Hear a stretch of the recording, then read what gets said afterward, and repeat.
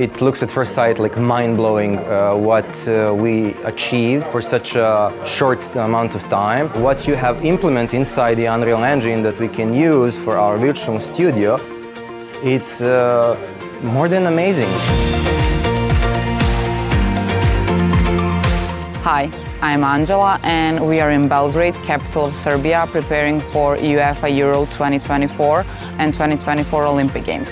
Today we will explore how stYpe systems contribute to create virtual reality and 3D graphics for commentary shows on Radio Television Serbia. So, let's go!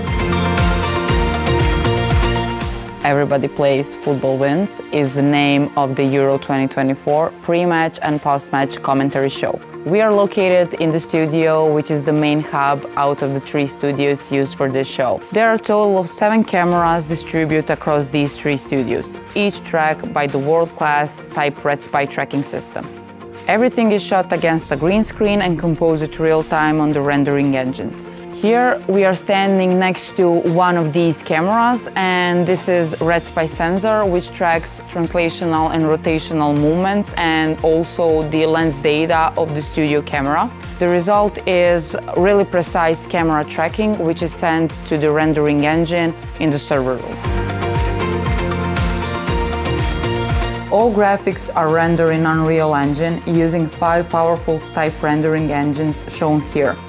The camera feed and the tracking data are sent to each engine, where the final composite is produced with the help of StypeLand Unreal plugin. StypeLand simplifies the process of keying out the green screen with its GreenKiller 3D keyer. Each virtual scene includes integrated 3D graphics for statistics, which are fed live data from the iNews newsroom computer system. What brings it all together is StypeCentral, and my colleague Aidemir will explain you a little bit more.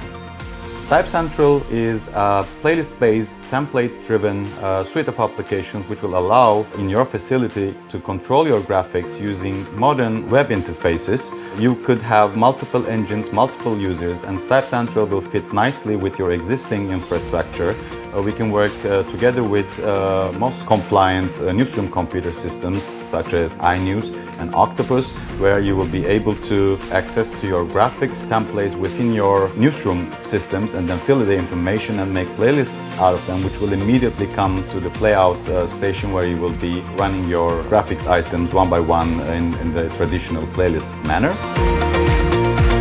Yes, we're extremely satisfied and it looks at first sight like mind-blowing uh, what uh, we achieved for such a short amount of time thanks to your technicians who were very eager to show us how to use your particular technology. We can now do scanning of the studios, to implement new things, to make it look different in five minutes, like literally in five minutes, and that's like something that was not possible to do before.